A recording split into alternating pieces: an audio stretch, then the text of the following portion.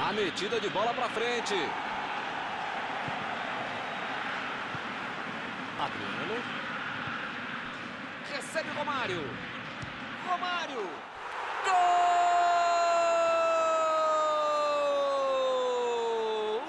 Uma cacetada de longe. Um golaço que merece placa. Que categoria, hein?